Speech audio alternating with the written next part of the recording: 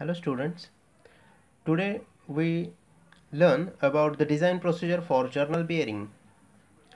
The following procedure may be adopted in designing the journal bearings.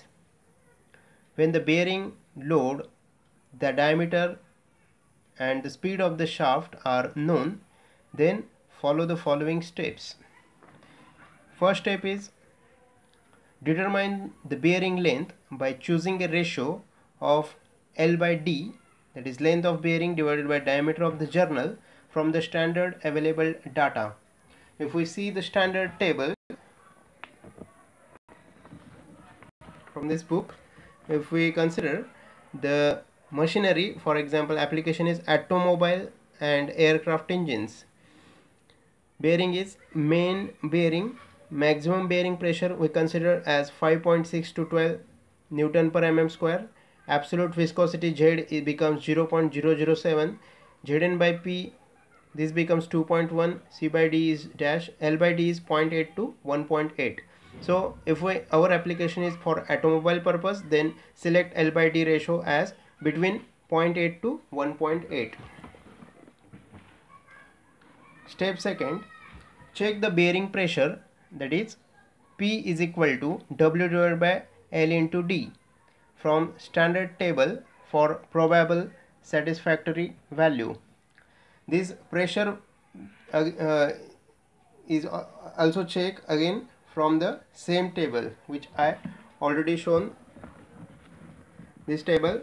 So so from uh, for our application is automobile main bearing then uh, check the bear ma maximum bearing pressure becomes 5.6 to 12 newton per mm square step third now as uh, step third becomes assume a lubricant from standard table and its operating temperature that is TO this temperature should be between 26.5 degree Celsius and 16, 60 degree Celsius with 82 degree Celsius as a maximum for high temperature installations such as steam turbines. For that purpose, if we see again one more standard table,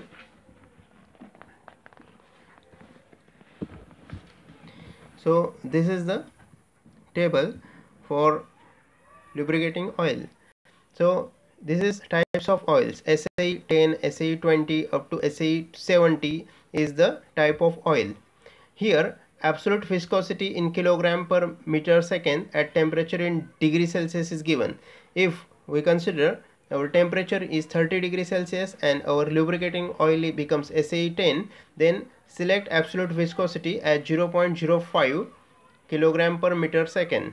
If we consider the temperature becomes 60 degree Celsius and lubricating oil becomes uh, SAE 30 so see uh, absolute viscosity becomes 0.034 kilogram per meter sec second so in this way we read this table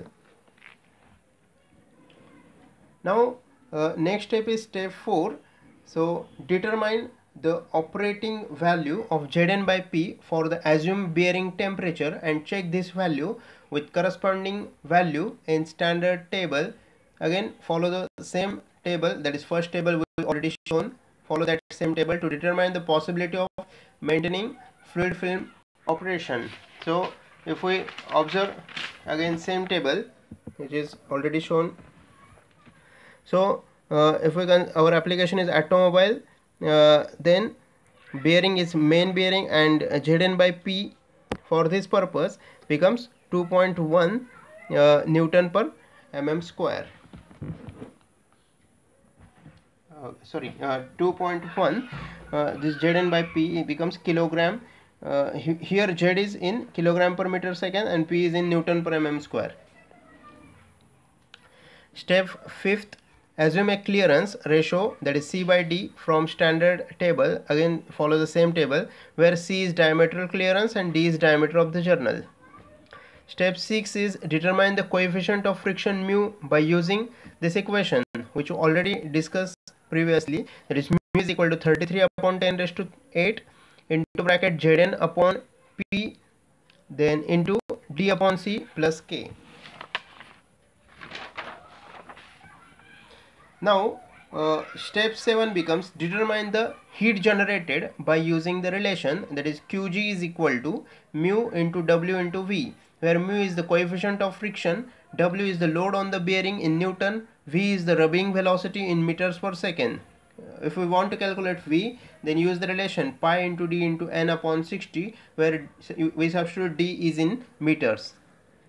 N is speed of the journal in rpm and uh, next step is step 8 that is determine the heat dissipated by using the relation qd is equal to uh, c into a into bracket tb minus ta uh, this is in joules per second or in watt where c is heat dissipation coefficient in watt per meter square per degree Celsius.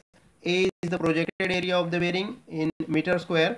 Uh, uh, here A is L that is length of bearing into diameter D. Then TB is equal to temperature of the bearing surface in degree Celsius. T is temperature of the surrounding air in degree Celsius. And uh, last step becomes step uh, number 9 that is determine the thermal equilibrium to see that the heat dissipated becomes at least equal to the heat generated. In case the heat generated is more than the heat dissipated, then either the bearing is redesigned or it is artificially cooled by the water. So this is the last step to check uh, whether uh, artificial coolant is required or not. This is the last step. And uh, in this way, we finish the discussion about the design procedure for journal bearing. So here we stop. Thank you.